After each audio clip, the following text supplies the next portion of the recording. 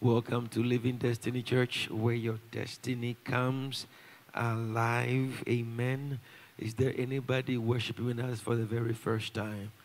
Today is your first time with us. Would you please lift your hand, wave it from side to side like you do care? Hallelujah. Is there anybody here? Well, anybody watching online? Welcome, welcome to your Father's house. Welcome to Living Destiny Church. Amen.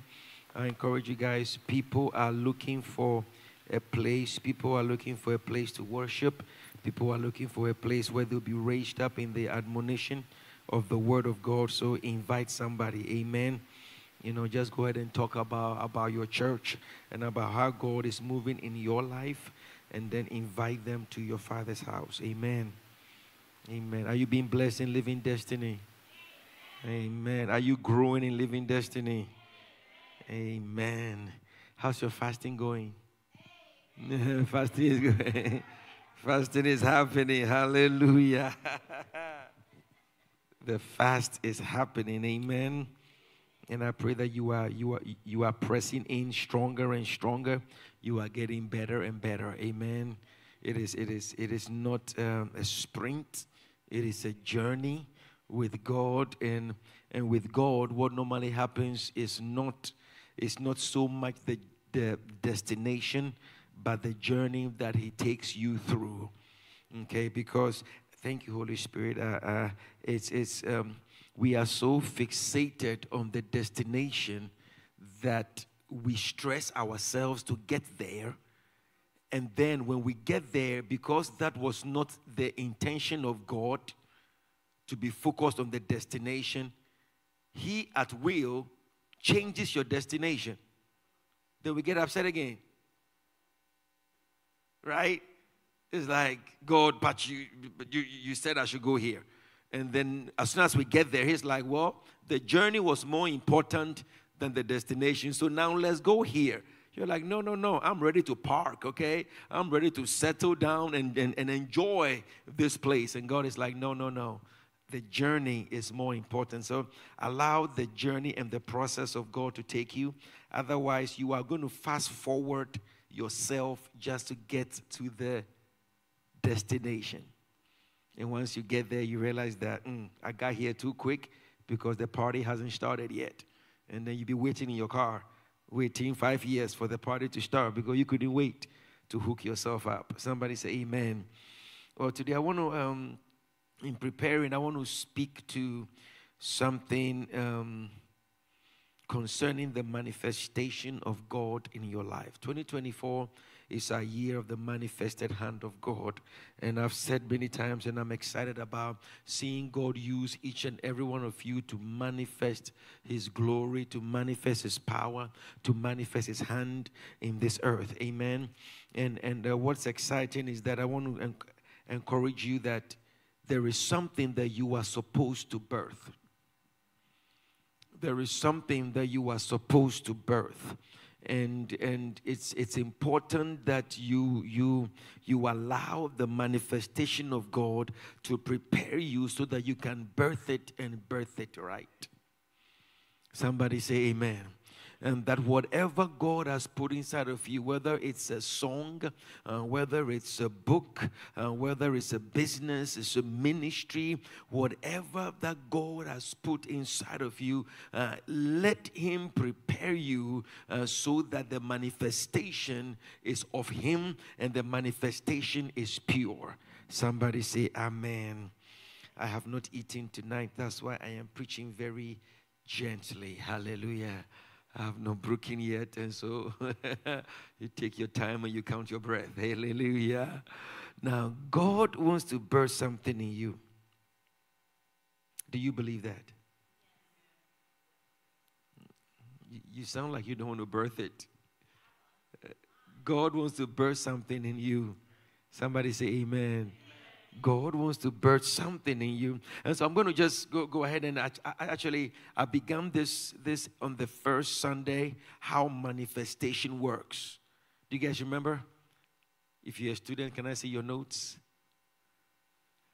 How does God manifest? How does the manifestation of God work? I, it starts with one person. That's step number one. And then number two, everybody else catches on, right? And so God begins with one, and, and, and sometimes you begin with a few people, but it's a very limited number, right? He begins with a few, and then as it begins to grow and becomes clear, um, then God will bring other people to catch on. Both steps are important, right? There must be a spark before the fire, um, but if the if the if the fire stops with a spark, then it doesn't go anywhere, right? And so the spark ignites the fire, and then the other logs come in to keep the fire burning, so that it goes from glory to glory. It goes from step to step. And so, for whatever God is calling you to birth this year, whatever God is calling to birth out of your life, uh, I want to speak to the processing of the one. I want to speak to the processing of the one. If there's one thing that I believe that I am graced for, that I have the grace of God, is to understand and to teach this process of God preparing you from one place to another because so many people either are lagging behind and God has to pull you and say, let's go, or people have already gone ahead and built and built things that God did not instruct them to build. You understand? Understanding the process, understanding what it takes for the one to hear the call, to, uh, to be processed, and to manifest it is very, very important. Somebody say, Amen. God has put something inside of you, and like every human being, you probably went ahead of God and tried it yourself, and it didn't work, and so you backtrack and say, "Okay, God, I'm okay, okay, God, okay, okay, now, now, now, now, I'm really going to listen, and now I'm not going to do it my way. I'm going to do it your way. So now, God, teach me." Somebody say Hallelujah. The processing that God takes you through and you've, you've heard this before, is, is very much like the crushing of the grapes to make fine wine. Are you sure you want to manifest the hand of God? Okay, all right, so let's go. When God is calling you, and for the sake of discussion, to be the point of contact. Or the other word is, or the other phrase is, to be the entry point of His glory in the earth.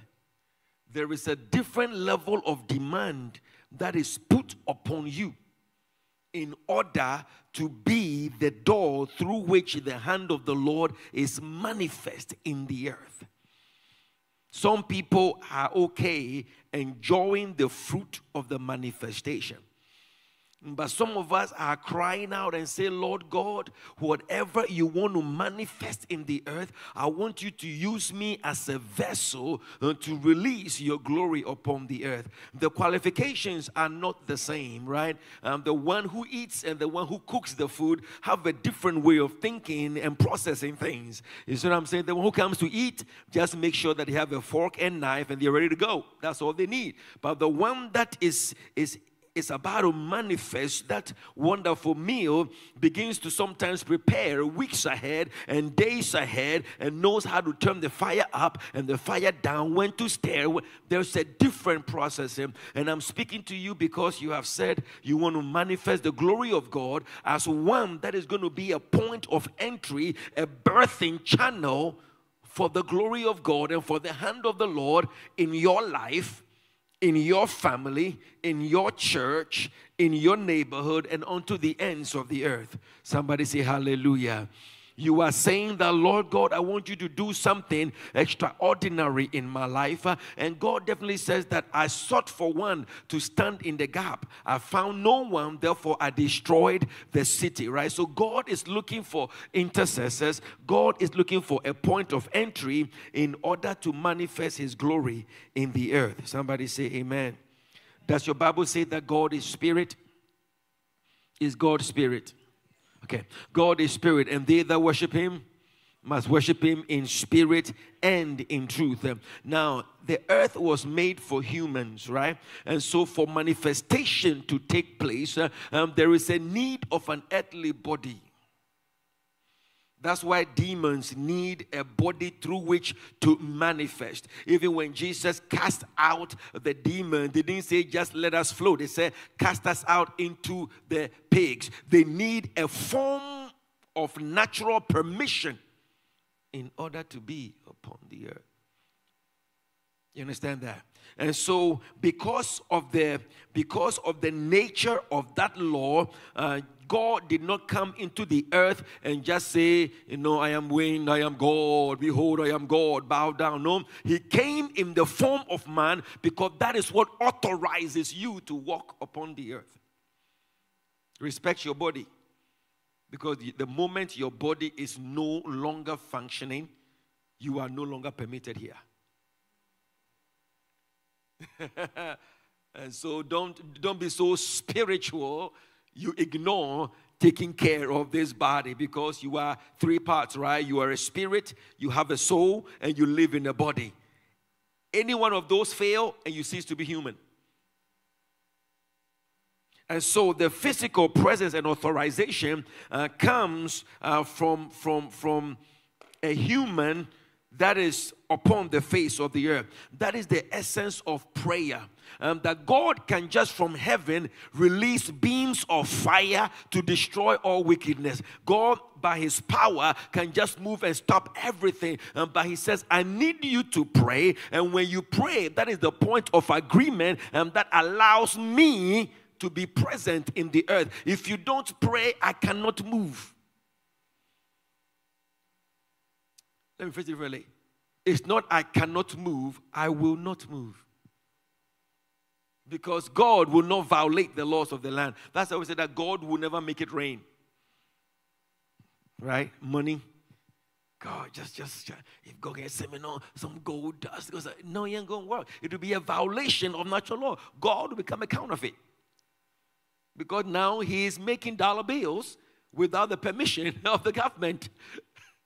You understand? And so those laws, God has allowed Himself uh, to be bound by them. And He said that in order for me to manifest my hand in this earth, I need someone to cry out. I need someone to stand in the gap. I need someone to say, Lord, use me. And then the word will come, and the revelation will come, and the power will come. And then you go forth and manifest it in the earth. The, the question now lies Are you ready to bear the cost of being the point of entry. Call it the tip of the spear. Right? The, the encounter that the one, the one who is called faces is different from what happens with the ones that come after. For your family, are you willing to be the point of entry that manifests the glory of God? There is a cost associated with that. And I'm not going to go into all the different teachings of the cost, but I, I, I, I, want to share this with you. Let's go to Genesis 12. Genesis chapter 12, verse number 3.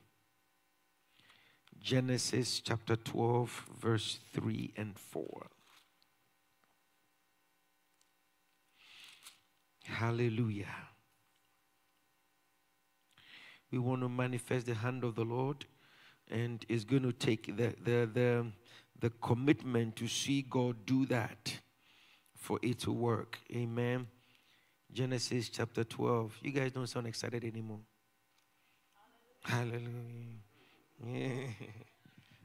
I don't know about this, Pastor. At this point of entry, I don't know, man. Kind of, kind of like, sounds like lots of attacks. Remember, it is good, amen. His grace is sufficient. His grace is sufficient. He will keep you. He says that I've made you an iron pillar, a bronze wall. You will stand against these people and, and they will not stand against you. So go ahead and embrace what God is calling you to. Genesis 12, verse 3. I will bless you. I'll bless those who bless you. I will curse those who curses you. And in you all the families of the earth shall be blessed. So Abram departed as the Lord had spoken to him, and Lot went with him. And Abram was 75 when he departed from Haran. Let's go to Exodus chapter 4. Exodus chapter 4. Exodus chapter 4, verse number 10.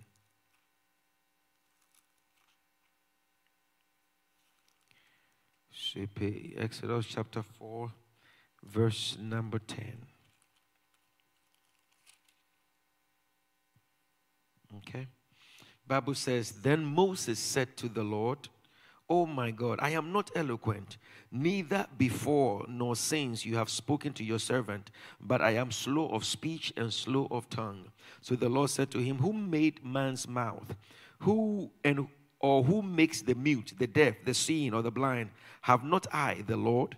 Now therefore go, and I will be with your mouth, and teach you what you, what you shall say. But Moses said, Oh my Lord, please, I beg now, send by the hand of whomever else you may send. So the anger of the Lord was kindled against Moses, and he said, Is not Aaron the Levite your brother? I know that he can speak well. And look, he is also coming out to meet you. When he sees you, he will be glad in his heart. Now you shall speak to him and put the words in his mouth, and I will be with your mouth and with his mouth, and I will teach you what you shall do. Somebody say amen. One last scripture, First Kings chapter 18. First Kings chapter 18. I'm glad you are here tonight. Amen. Your, you, your, your life would not be the same. First Kings chapter 18, verse number 22. Then Elijah said to the people, I alone am left a prophet of the Lord, but Baal's prophet are 450. And that is not true. Somebody say amen. Because um, Obadiah had already told him the 100 prophets in the land that are kept in the cave. But you know, but when you want to go on a suicide mission, when you want to play hero ball, that's what happens. Ain't nobody praying like me. I'm the only one prophet in the land, you know. I'm seeing things that nobody, bruh, stop it. God is bigger than that. Hallelujah. God is bigger than that. But I, I, I, I went through those scriptures because we see we see that uh, the very first the, the very first one was who?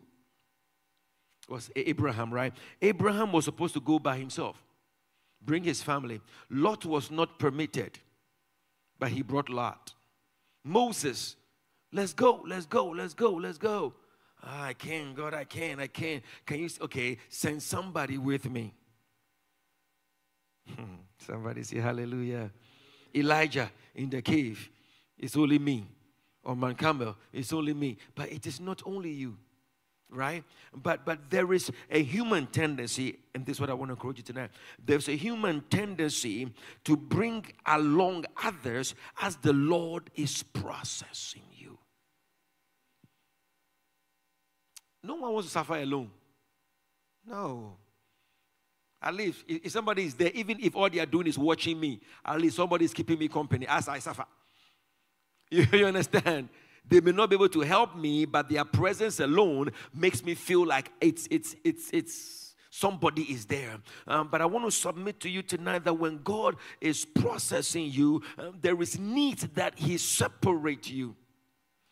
If you are going to manifest the hand of the Lord in this life, I want you to get comfortable with being alone in His presence the manifestation will happen through you with people that one is, is, is, is undeniable, right? Don't forsake yourselves from gathering together. And Jesus went from himself to his disciples. So the propagation of the anointing and the power and the word is going to take people. So you can't do it by yourself. Um, but when it comes to receiving the call, and the processing and God preparing you in order for Him to release the message into your life is going to take you being isolated. So stop bringing everybody with you. Stop bringing everybody with you as if, you know, the more people come, uh, then, then, then, then the, the better. It is not so. When it comes to the manifestation and God releasing His word to you, He needs it to be potent.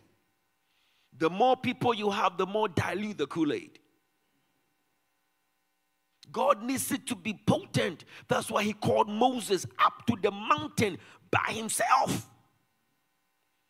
And release the word into him. Jesus said, I, I, I, can summon a legion of angels and we can take care of this right now. Uh, but he said, No, no, no. He stood there on the cross by himself. Jacob, I mean, um, Joseph tried to make connections. At the end of the day, he had to go through this process by himself. I'm not talking about just um, ignoring people. You, uh, I hope you catch what I'm saying. It's not that I don't have my accountability praying for me. It's, it's not that I isolate myself. The thing is, and, and I, I feel like I need to describe this process. This is the process, right? I, I, am, I, I, am, I am in my time with God. God speaks to me, and God is processing me. And then, and then, okay, in Jesus' name, I come among people. Hallelujah, brother. How are you doing? God bless you, sister. How are you doing? Uh, God is blessing you. And, and you don't want to go home because you know, you know, you know when you go home, God's going to catch you. And so you try to stay around as long as you can. You, know, you want to go for dinner, you want to go for tea, you want to hang around everybody else because you know the moment you enter into that house, bam, God says, Come on, not again. God is about to tear you up right? So I'm talking about a life where, yes, you are with people and God is using people to encourage you, but that room that God is taking you into, nobody can come with you. The processing that happens there requires a singular focus, a singular intensity, a singular purpose um, that other people are just going to mess up. So when God isolates you, understand that He's trying to birth something inside of you. Uh, the, the, the annoying part of it is that He doesn't tell you what. At least if He asks me permission, as to what time of the year, what time of the month, what time of the week he intends, and what he's doing, I may give him permission and say, God, you know, I like your project. I like what you are doing, so I'm interested. But he doesn't say anything. He just starts. Well, you prayed and said, God, manifest your hand in my life. Then it's okay. And then he starts. And then he starts. Am I birthing a book? Am I birthing a ministry? Am I birthing a business? You don't know. And then sometimes he will leave you alone. Oh, it's over. And then two and a half days and, and three minutes later, he calls you back and you're like, oh, I thought this was over. And then he starts over again. And at first it was for two weeks. Now it's for a month. Then it's for two days. You're like, bro, what you do? Can I, can I get with your program? Can you submit your itinerary so I know when you're going to be snapping on me? That is the processing of God. I invite you to be comfortable with that process. Because if God is going to manifest His hand in your life, it will not be on your schedule. It will not be based on your understanding. It will be based on what He wants to do and how He wants to do it and what shape and form He wants it to take. Somebody say hallelujah. God had to instruct me quickly, and I, I believe this applies to many areas of our lives. The moment I got a revelation in my heart, I want to talk about it.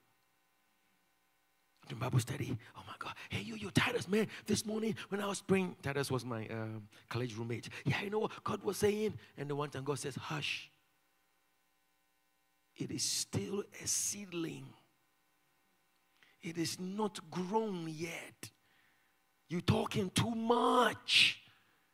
He says, wait for that seedling to grow. Keep feeding it. Keep feeding, and then it, be, it will become a tree. when it becomes a tree, you still don't cut the tree down. It is the fruit of the tree that people partake of. Excuse me. It is the fruit of the tree that people partake of. If you give them the seedling, they trample over it and it's done. You don't even know what kind of fruit it is. Just, oh, I got this revelation. Keep it to yourself. Keep it to yourself. How's your Bible study? It is good, man. God is teaching me amazing things. I can't wait. I'm excited. Okay, good, good. Then you go back. But you don't come and broadcast. You understand? Do you know the power of this process? People will start benefiting from the fruit of the revelation without you telling them, I'm about to give you this. You understand? The the uh, mango tree, right? Does not go around announcing, I'll give you a fruit, I'll give you fruit, take my leaf, it is fruit. No, no, no, no, no. When the fruit comes, people start partaking of it. When it is time, you don't have to force it. People will start, people say that, and the birds will flock Instead of trying to announce what God is doing, huh? I'm about to bear mango fruit. Huh? Everybody come on. No, no, no, no. You just you just stay where you are, abide with God, let Him grow you, and when the fruit comes, the demand for it will come. Someone say hallelujah. God wants you to be able to stay in his presence. God wants you to abide in His presence. In the same way, when God is tearing you up, when God is tearing you up, stop advertising it.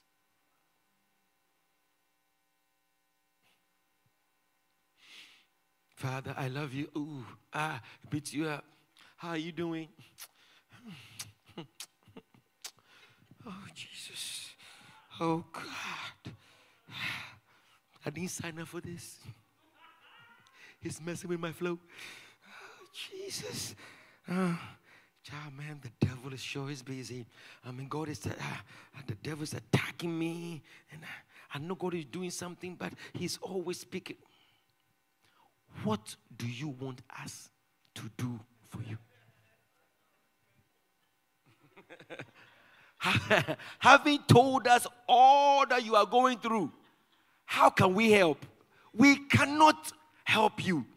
It is you are not telling me this for prayer because I was praying for you already. So it's not like you are asking for a different kind of prayer. You just want to talk. But that dilutes it.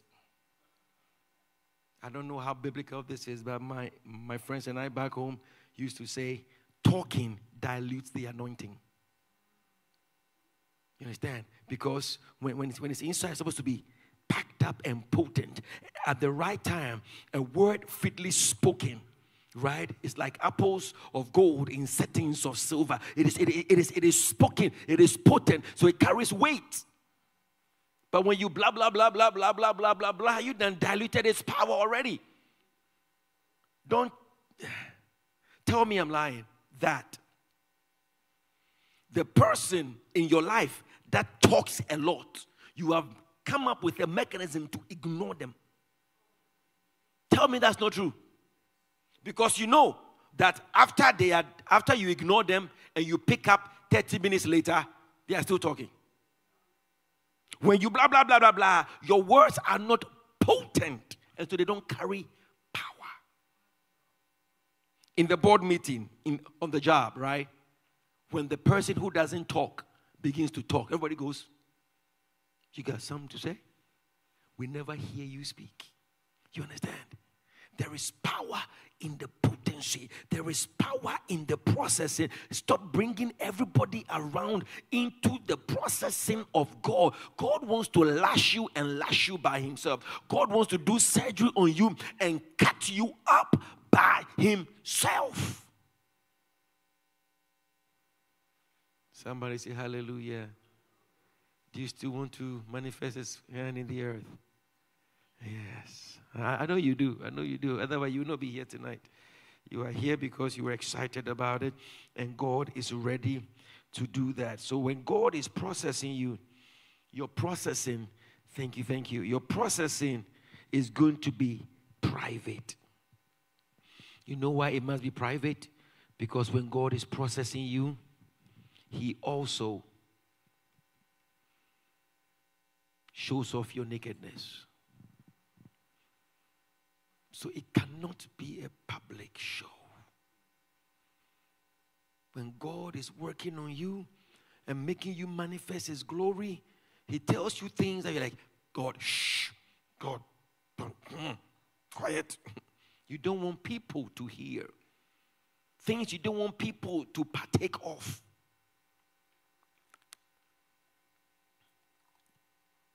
So, in His mercy, He will take care of it right here. It is us who won't shut our mouth. Then we start talking out here. God is doing a processing of your heart and a molding of your spirit.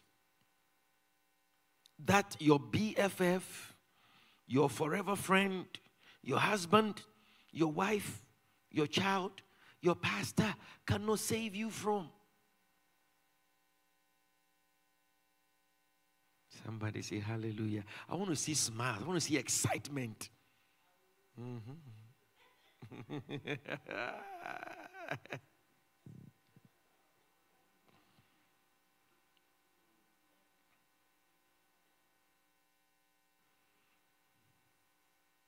when people come along, they rather frustrate the hand of God. When people come, it, it, was, it was after Lot left Abraham that God says, Look and see what I will do in your life.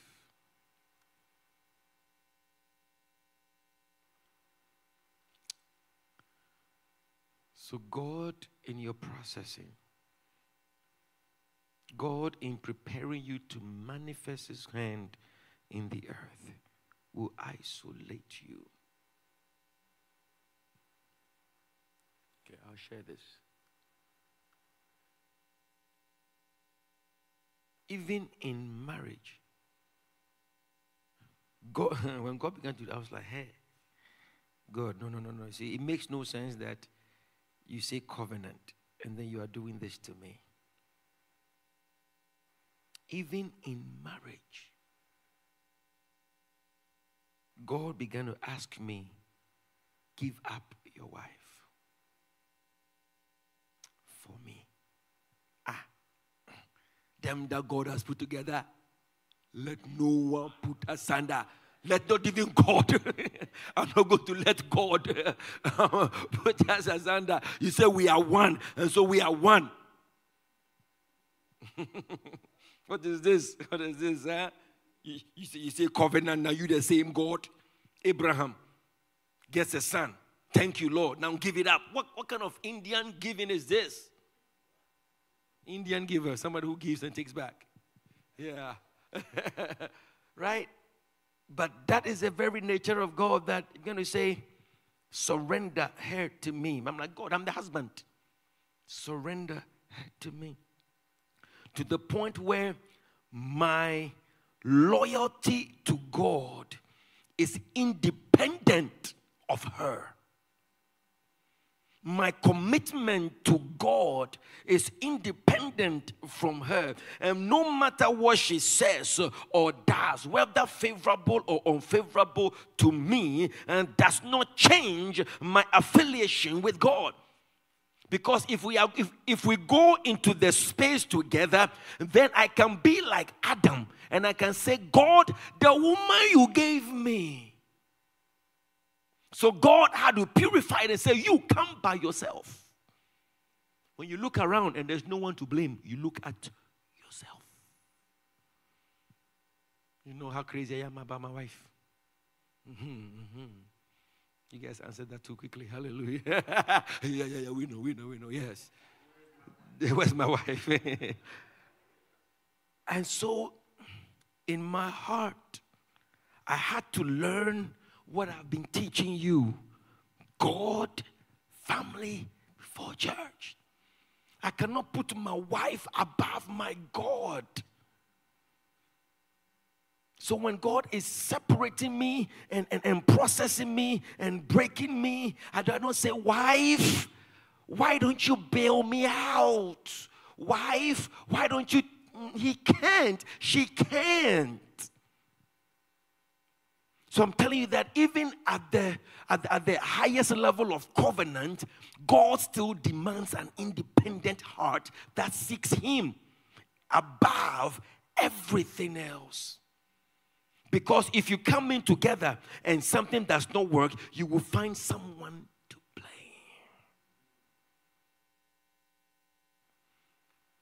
And there's something about him manifesting his hand in the earth. He doesn't have time for he did it, she did it, he made me. Listen, we are we, listen. We are producing something. We are birthing something. Now it's not the time to say who did what. We got to know who is in charge, who is responsible. Let's go.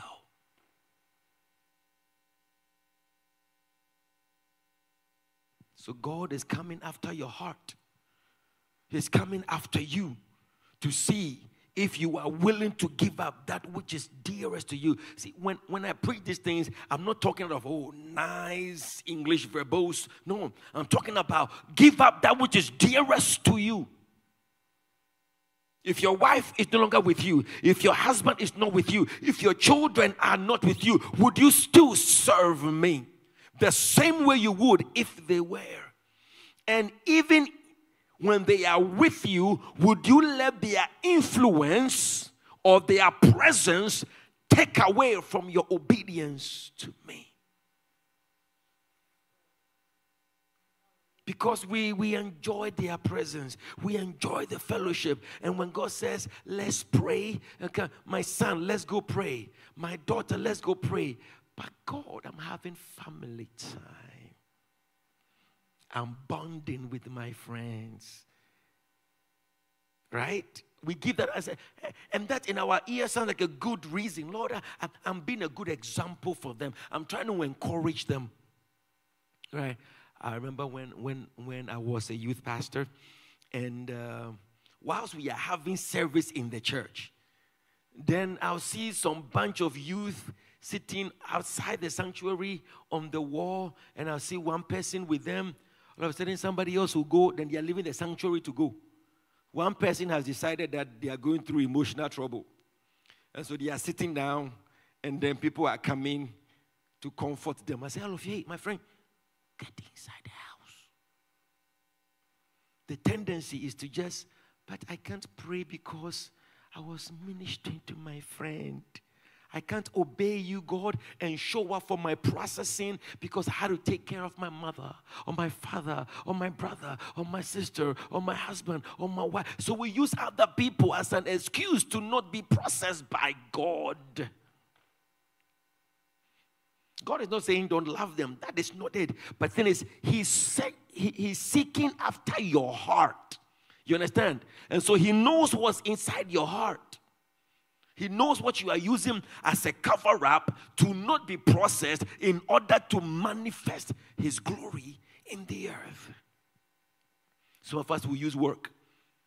We work and work and work and work triple over time, fourple over time. We do all of that because you don't want to enter into that place. Some of us, you sleep. You, you, you, you have your sleep at night and then your, your, your morning nap, afternoon nap, Sometimes on the job, you take your pre nap, you are always trying to find, instead of God says, Wake up, let us pray. But God, I have to sleep. I have work tomorrow. You hear me? Some of us use shopping. When God tears you up and breaks you up, you feel empty. Anybody realize that? After God is done with you, you feel like you don't even know where your legs are. like you're just walking. So you want to go do something that will satisfy the soul. and so you go spend money.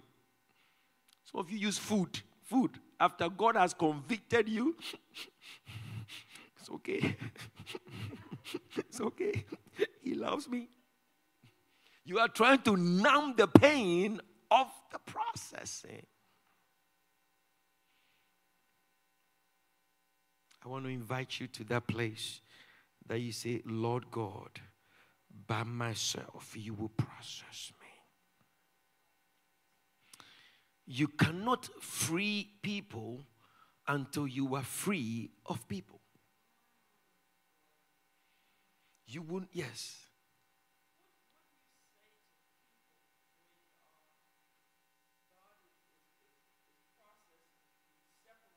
Mm-hmm.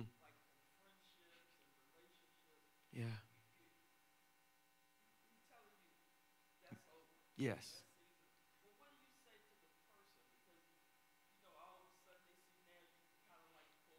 Right. Right.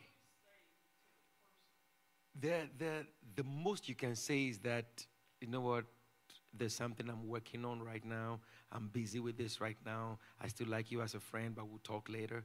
But I mean, as you were saying, that the very first thing that came to mind, that was my secondary thought. The primary thought is that somebody who has been through the processing understands that.